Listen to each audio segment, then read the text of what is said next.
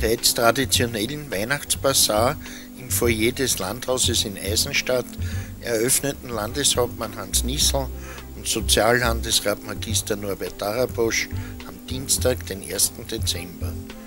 Seit vielen Jahren werden burgenländische Behindertenorganisationen, Förderwerkstätten, Tagesbetreuungseinrichtungen oder Arbeitsloseninitiativen zur Ausrichtung eines Weihnachtsbasars im Landhaus eingeladen.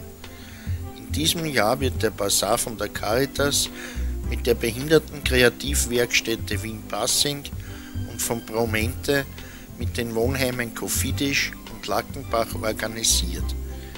Der Basar befindet sich im öffentlich zugänglichen Bereich des Landhauses und kann daher von jedermann besucht werden.